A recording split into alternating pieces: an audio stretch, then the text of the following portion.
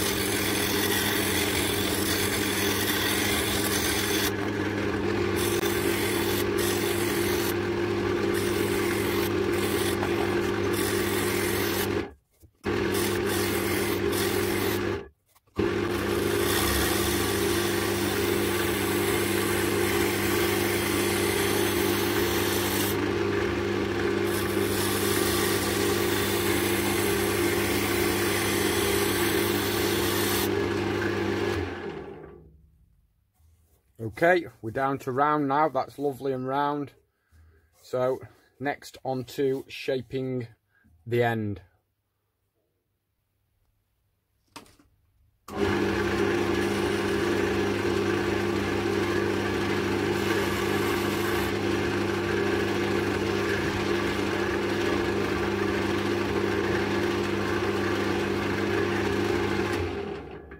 Now what we're using is a spindle gouge. Look how razor sharp that is. Absolutely so sharp it's untrue. I will do a sharpening video on this another day on how to sharpen your tools. It's a very simple process with the uh, Tormek TTS 100 setter. So I will show that another day. Let's get into it.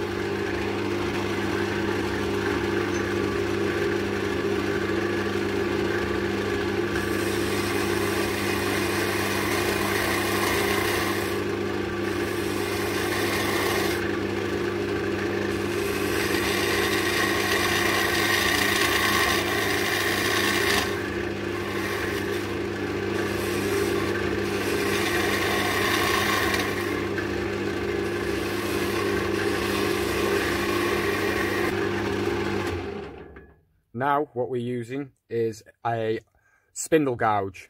Look how razor sharp that is. Absolutely so sharp it's untrue. I will do a sharpening video on this another day on how to sharpen your tools. It's a very simple process with the uh, Tormek TTS 100 setter. So I will show that another day. Let's get into it.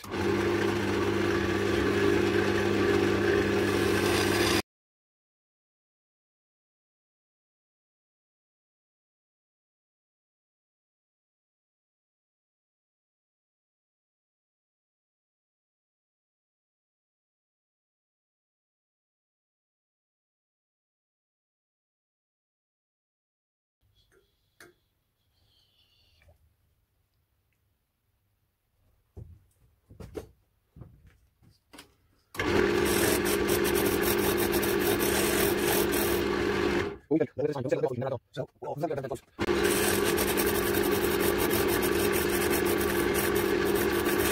走，走。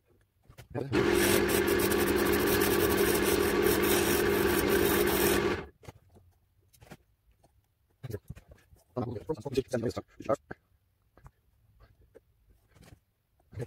走，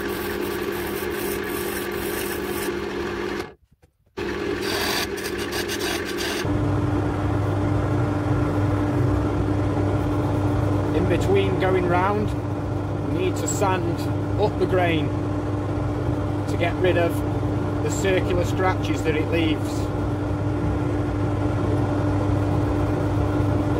Always going that way because obviously the grain's running front to back. The grain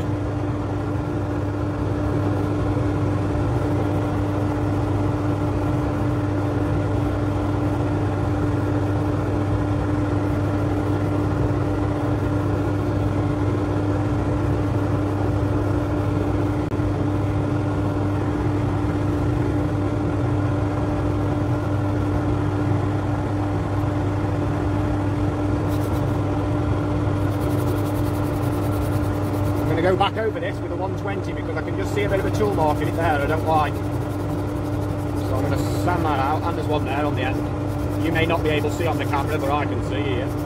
It's just a little ring that goes round the, round the handle. That'll stand out like a sore thumb when it's when it's uh, oiled up.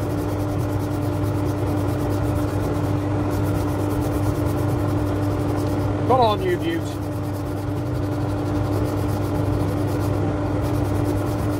Very difficult to get it out once you start sanding over it on a finer grit. If you don't get rid of it now, you'll never get rid of it unless you get the tools back on it and get it spinning on the lathe again. Just a bit of uh, information there for anybody that does want to start doing this kind of this kind of work, wood turning, and it is very, very, very simple to get into, but very, very expensive. So if you've got plenty of money, which I haven't, then get a lathe and get started it's a minefield. You spend thousands on tools, lathes, shortening gear, timber. Oh God, it goes on and on and on and on. And you see something, you won't start, I won't start doing resin. Resin castings and resin turning. But you need all different gear, pressure pots. Oh, it's a minefield, absolute minefield. But I will be investing in one. So look out for that. We're going to be getting on that shortly. Definitely. So I mean, some of the different projects I've got coming up that I've got in mind are already making me that excited. Just to show them you.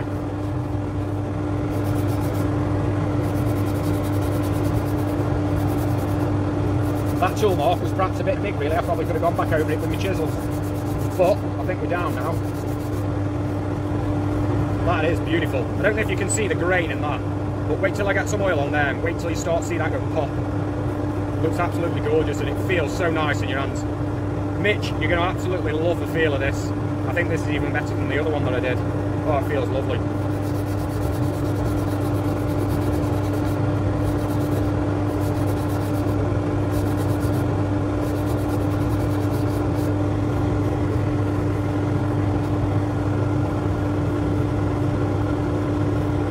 Oh yeah, gorgeous. To be honest with you, it feels that nice like that. Well, I'm going to carry on standing. So here we go again. We're starting 240.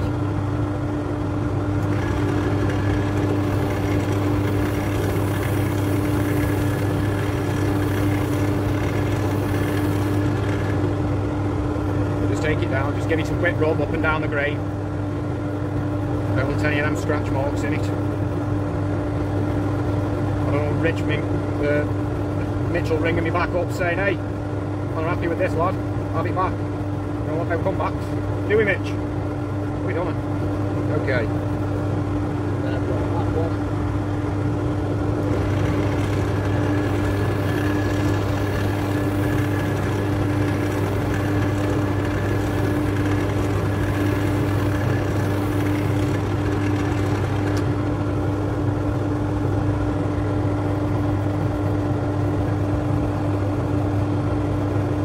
The camera on this phone isn't isn't great, but if you could see this grain here now, I mean the colours coming out of it.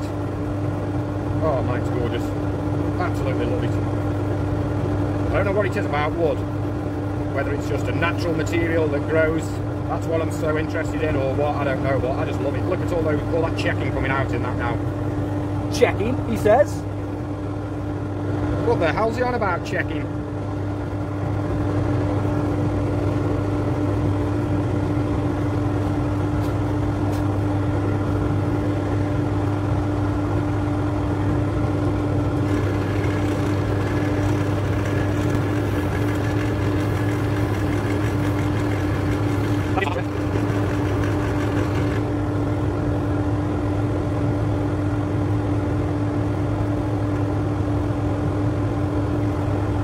I'm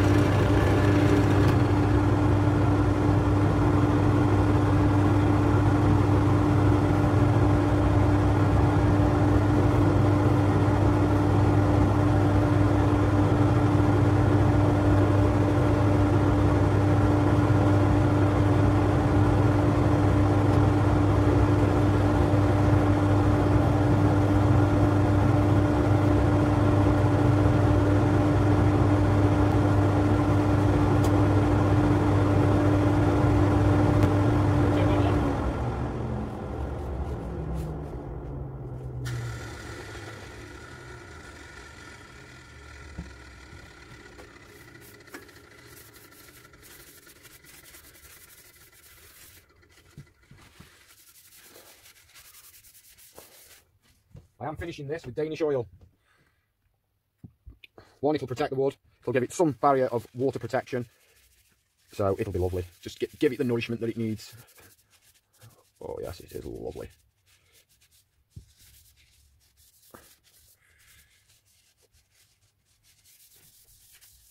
Look at that. Let's uh, pull that copper ring down a bit. We've got plenty in there. We've got plenty in for you, Mitch. Make sure this piece is really, really soaked well.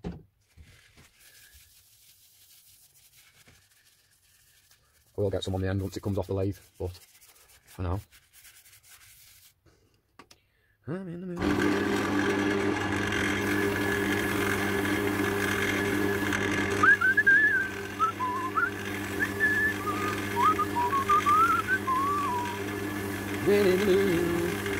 That.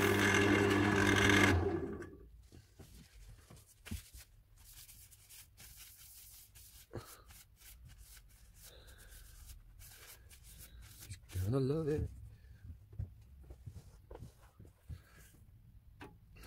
Right, I'm gonna get it off the lathe now. Just tell me what you think of that, guys. Just look at the, just look at that. Tell me what you think of that. Leave a comment. Leave a comment. Tell me what you think of that grain. Are you feeling that? That is beautiful. Beautiful. Okay, I'll be back with you in a minute.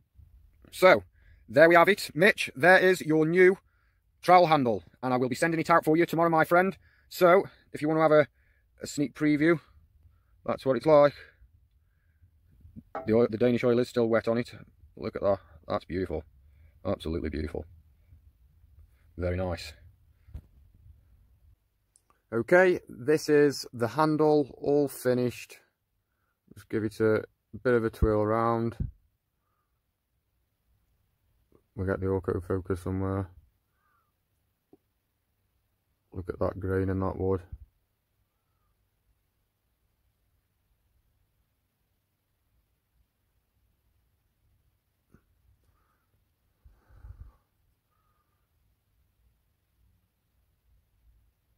There we go. So, okay, Mitch, that's your handle complete. I will be getting that wrapped up and getting that sent out to you to Essex first thing tomorrow morning. Thanks a lot, mate. Thanks for watching this video, everybody else, and until next time, nice and easy, guys. Thank you.